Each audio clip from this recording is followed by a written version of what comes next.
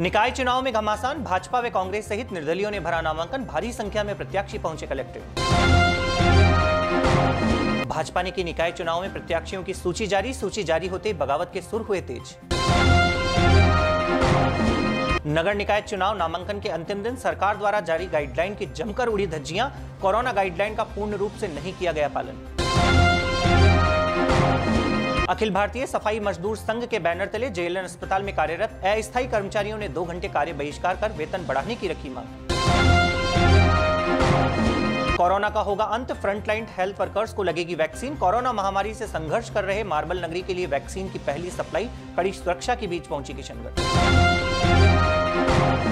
युवक ने संदिग्ध परिस्थितियों में फांसी लगाकर की आत्महत्या। अलवर गेट थाना क्षेत्र स्थित गोपालगंज रोड नगरा के रहने वाले युवक ने अज्ञात कारणों के चलते लगाई फांसी। टिकट की घोषणा होते ही बीजेपी में बगावत के सुर हुए तेज। किशनगढ़ में बीजेपी कार्यकर्ताओं ने रोड जाम कर जताया विरोध। ट्रेन की चपेट में आने से महिला की मौत। पोस्टमार्टम के बाद शव परिजनों को किया जाएगा सुपुर्द निकाय चुनाव के नामांकन के तहत पुलिस का जाब्ता मुस्तैद। जिला पुलिस प्रशासन पूर्ण रूप से सतर्क।